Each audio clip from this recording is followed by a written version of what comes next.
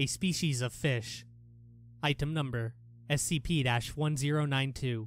Object class Euclid. Special containment procedures. SCP 1092 is to be housed in a 5 by 5 by 2.5 meter cell that is completely watertight and is capable of being filled and drained via an installed pumping system. During its parasitic stage, SCP 1092 will be contained in one domestic pig of no less than 54 kilograms. During this phase, SCP 1092's host is to be fed regularly and otherwise treated as a normal animal. After two months' time since initiation of the parasitic stage, the containment cell will be flooded with 40 centimeters of water, and SCP 1092 will be allowed to enter its aquatic stage. The body of its former host will be incinerated. After four months, another domestic pig meeting the same specifications will be placed into the inundated cell. Upon successful infection, the water will be drained and boiled three times, at no less than 200 degrees Celsius, before being disposed of. In light of Incident A, all individuals who experience direct contact will SCP-1092 or its containment area will be analyzed with X-ray radiography after leaving. In light of Incident A, personnel suspected of exposure to SCP-1092 will be quarantined for no less than two weeks, during which time they will receive full-body X-ray scans every 48 hours. Those infected will be terminated. See Addendum 1092-2. Description SCP-1092 is an Osteichthyes class fish, during its aquatic phase virtually indistinguishable from other related fishes, except for a tendency toward aggression. However, only adolescent and adult instances of SCP-1092 have been observed outside of a living host. Juveniles are obligate parasites. The fish infects the circulatory system of its host, absorbing oxygen and nutrients directly from the host's blood.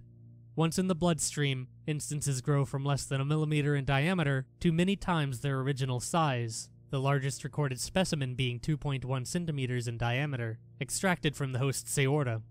The way SCP-1092 initially establishes an infection is not clear. However, it is theorized that its tiny eggs enter the bloodstream through cuts and lacerations on the subject's flesh, which would explain its aggressive tendencies. It has been known to infect a number of large mammals, including goats, sheep, humans, blank, and pigs. Subjects infected by SCP-1092 often experience fatigue, weight loss, and increased appetite. Further, many subjects affected will report fluttering or squirming sensations inside their body. Nevertheless, it must be noted that a significant portion of those infected experience no noticeable symptoms until the parasite has matured to the end of its parasitic stage. Once the fish have matured within a host for 6 to 9 weeks, they will be ready to enter their aquatic stage. SCP-1092 will generally wait for its host to be contacting or surrounded by a significant amount of liquid water. SCP-1092's mechanism for detecting water outside the host's body is under investigation. See document blank. When the host contacts water, all mature instances of SCP-1092 will forcibly expel themselves from the host's body, using their teeth to cut through blood vessels and epithelium. Subjects will sustain anywhere from minor injury to severe blood loss and death, depending on the location and severity of infection. It is important to mention that a small, but notable portion, of subjects will experience a secondary stage of infection. In these individuals, SCP-1092 will travel up the carotid artery, at which point, redacted. Addendum 1092-1 Incident A Unknown to any Foundation staff at the time, Agent Blank was exposed to SCP-1092, and the infection progressed unchecked for at least six weeks. It is hypothesized that Agent Blank was initially infected via a small cut on the inside of his lip. SCP-1092 exited his body without warning while he was taking a shower in facilities at Site Blank. Although medical attention was given almost immediately, the hemorrhaging proved too extensive, and Agent Blank died within the hour. Addendum 1092-2, Incident B.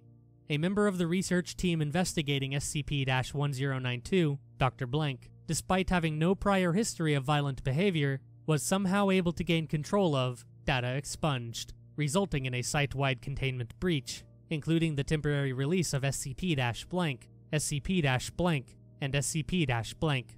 This was suspected to have been a distraction staged in order to allow Dr. Blank to redacted unnoticed. The subject was finally terminated only 5 kilometers away from the Colorado River Aqueduct. Upon autopsy, the subject was confirmed to have an advanced stage SCP 1092 infection in his brain.